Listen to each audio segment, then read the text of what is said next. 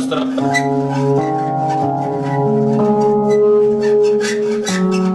Блин, есть у меня друг, замечательный человек и хороший геолог. От людей я слышал, что семья моего приятеля переехала в другую квартиру, а я поспешил по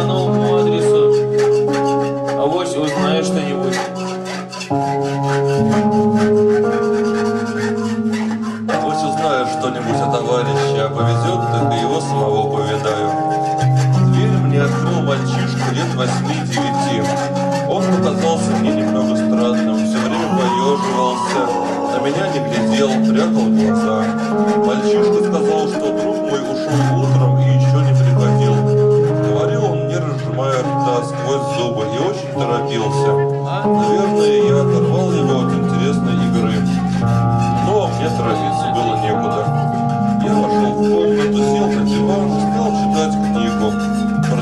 страничку, прочитал другую, слышу за стенкой кто-то запел.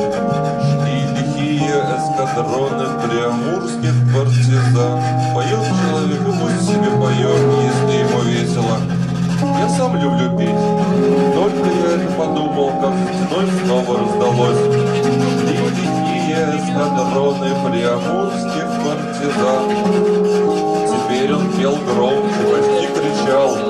на словах «дикие эскадроны» подбывал немного и захлебывался. Потом запевал опять и опять, все про партизан. Я попробовал читать книгу, но у меня ничего не получалось. Певец так завывал, что я не вытерпел, вышел в коридор и постучал в соседнюю дверь. Песня раздалась еще громче. Я даже удивился, как это можно так петь. Я постучал еще раз, еще и еще. Наконец пение прекратилось, за дверью раздалось шмыганье носом и глухой голос сказал «Чего?» Я попросил «Послушайте, не можете ли вы петь потише?» «Ладно», согласился певец, и тут же заорал так громко, что я попятился от двери. Шли лихие эскадроны приамурских партизан. Потом началось что-то совсем непонятное. Шли лихие, шли лихие, шли лихие. Я совсем растерялся. быть за дверью сумасшедший, и тогда нужно звать на помощь докторов, санитаров. Я осторожно приоткрыл дверь и увидел. Автоматке тот самый мальчишка, что впустил меня в квартиру. Кусает подушку, бьет ногами по валику и горланит песню,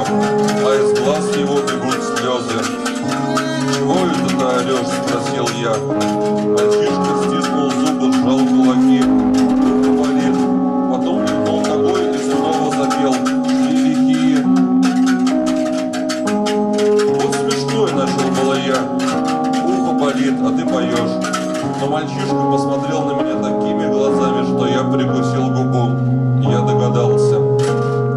Когда я был солдатом, у меня тоже однажды заболело ухо ночью в казарме. Плакать солдатам нельзя ни за что. Я ворочался сбоку на бок, так же вот грыз подушку и сам не заметил, как раздвинул прутья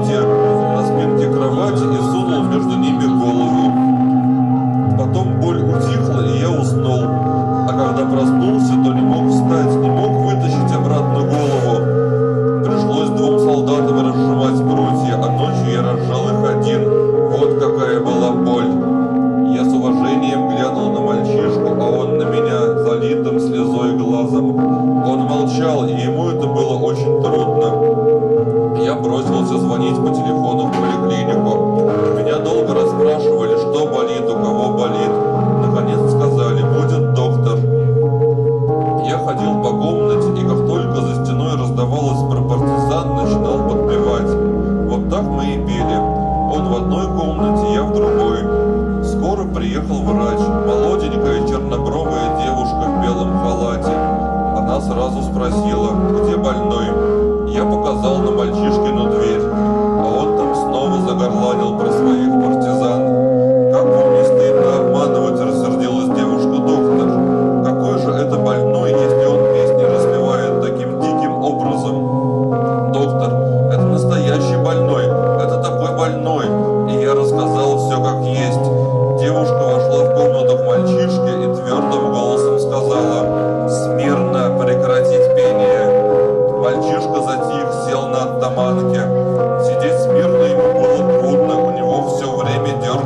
Hallelujah.